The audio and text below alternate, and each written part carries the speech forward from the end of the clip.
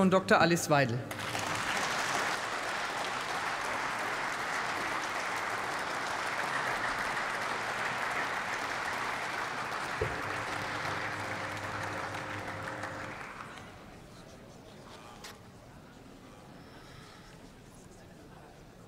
Sehr geehrte Frau Präsidentin, sehr geehrter Herr Bundeskanzler, sehr geehrte Damen und Herren!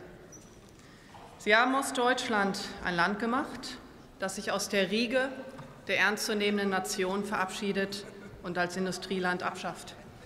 Ihre Energiewirtschafts- und Migrationspolitik wird vom Rest der Welt nur noch als abschreckendes Beispiel gesehen. Selbst für unsere nominellen Verbündeten sind wir vor allem Geldautomat und Waffenlieferant in ein Kriegsgebiet, während unsere eigene Armee die Fähigkeit zur Landesverteidigung verloren hat.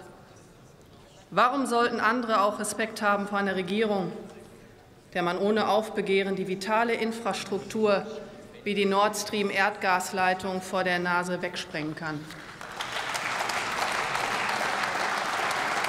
Und wenn demnächst auch kein russisches Erdgas auf dem Landweg mehr kommt, weil die Ukraine die auslaufenden Transitverträge nicht verlängern will, dann erklärt uns der Bundesminister der Deindustrialisierung und Wirtschaftszerstörung, müssten wir eben bei uns die Industrie herunterfahren, damit in den Nachbarländern keiner frieren muss. Herr Habeck, der bei der Nationalhymne den Mund zusammenkneift, signalisiert uns damit klar und deutlich, seine Politik dient weder diesem Land noch seinen Bürgern.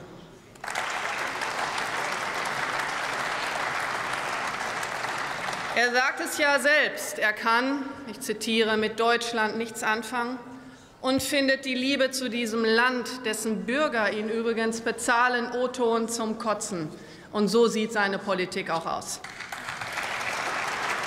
Das von Herrn Habecks Lobbyistentruppe ausgeheckte Heizungsgesetz ist dafür der beste Beweis.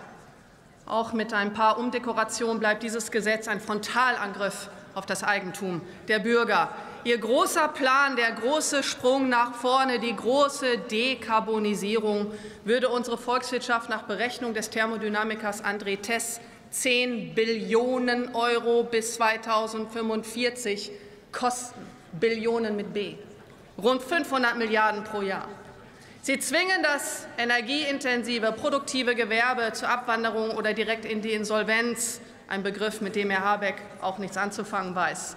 Und sie treiben die Automobilindustrie durch ihre E-Auto-Planwirtschaft in den Selbstmord. Woher der zusätzliche Strom für Wärmepumpen und E-Autos kommen soll, weiß niemand. Und das alles für eine grüne, groteske Ideologie ohne Rückbindung an die Realität. Denn für die weltweiten CO2-Emissionen wird weder das Heizungsverbotsgesetz noch die von Ihnen vorangetriebene Deindustrialisierung Deutschland einen Unterschied machen. Erzählen Sie also nichts vom Klimaschutz, denn sonst müssten Sie Kernkraftwerke bauen und nicht abschalten. Den Strom, der durch die Abschaltung der drei letzten modernen deutschen Kernkraftwerke fehlt, importieren Sie jetzt aus alten französischen Klapperkraftwerken. Was für eine Absurdität. Ihre grüne Transformation nützt weder den Bürgern noch rettet sie das Klima oder den Planeten. Wohl aber profitieren von dieser Umverteilung von unten nach oben die Lobbyisten, die diese Regierung fest im Griff haben. Bei der Vetternwirtschaft im Wirtschaftsministerium hätte Herr Habeck bei jeder normalen Regierung längst den Hut nehmen müssen.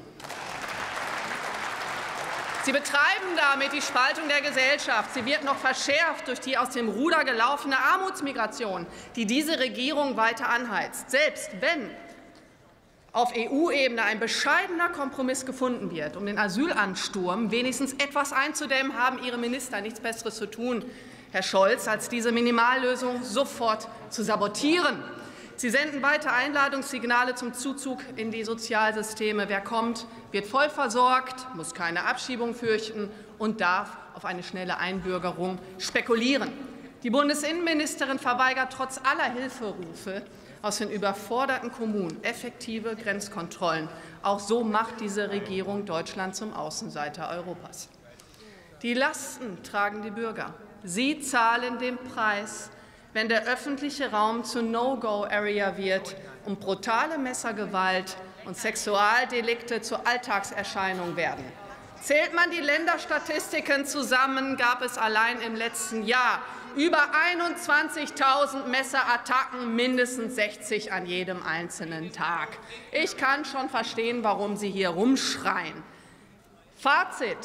Diese Regierung lässt die einheimische Bevölkerung mit dieser perversen, Sie schreien ja, mit dieser perversen, dass Sie jetzt lachen, dass Sie lachen, spricht Bände. Sie lassen die einheimische Bevölkerung mit dieser perversen importierten Kriminalitätsbelastung eiskalt im Stich. Ein Vollversagen dieser Regierung und der Vorgängerregierung, CDU geführt im Übrigen. Es trifft doch vor allem die Normalbürger, wenn der Wohnungsmarkt leergefegt ist. Sie lachen, das weiß ich, weil die öffentliche Hand für die Unterbringung von Migranten jeden Preis zahlt. Senioren aus ihren Wohnungen hinausschmeißt und Neubau wegen politischer Gängelung damit. Sehen Sie, Sie schreien ja trotzdem. Neubau wegen der politischen Gängelung überhaupt gar nicht stattfindet. Die Bürger, können Sie bitte. Ich würde gerne meine Rede irgendwie Kolleginnen und Kollegen, jetzt mal wieder Ruhe im Saal hier. Alle mal wieder ein bisschen beruhigen. Frau Weidel hat das Wort. Die Bürger Weiter. dieses Landes, vielen herzlichen Dank, Frau Präsidentin. Die Bürger dieses Landes sind die Leidtragenden, wenn sie keinen Arzttermin mehr bekommen, wenn Medikamente knapp werden, aber die Kassenbeiträge trotzdem steigen, weil ihre verantwortungslose Politik Leistungsempfänger in die Sozialsysteme treibt, die überhaupt gar keinen Beitrag dazu leisten. Mehr als die Hälfte der Bürgergeldempfänger haben keinen deutschen Pass, melden die Jobcenter. Wer gibt eigentlich Ihnen das Recht, das hart erarbeitete Geld der Bürger so hemmungslos an Wirtschaftsflüchtlinge aus aller Welt zu verteilen? Dieses Geld gehört Ihnen nicht. Diese Politik können wir uns nicht mehr leisten. Deutschland ist schon lange kein reiches Land mehr. Sie machen es zum Abstiegskandidaten. Wir müssen das, was wir an Mitteln und Kraft noch haben, darauf konzentrieren, den Absturz abzuwenden. Und das heißt Abschied vom grünen Narrenschiff und dem Weltrettungsgrößenwahn. Stattdessen Energiewende beerdigen, Energieversorgung sichern, Wiedereinstieg in die Kernkraft. Grenzen schließen, Sozialmigration verhindern, Ausreisepflichtige und Straftäter ja natürlich endlich abschieben. Steuern senken, Bürokratie abbauen, Staatsausgaben beschränken, Scheckbuchpolitik beenden, unqualifizierte Regierungsbeamte rauswerfen, den Standort Deutschland stärken, anstatt vorsätzlich zu schwächen, zurück zur Normalität.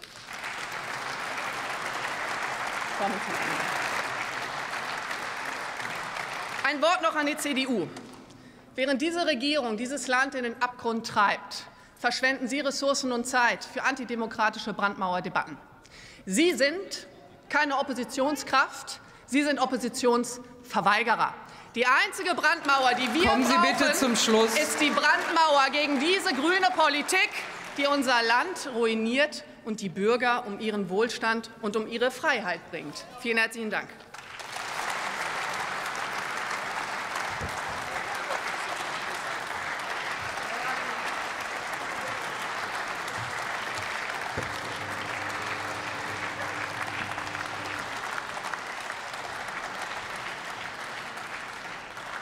Nächster Redner für die FDP-Fraktion.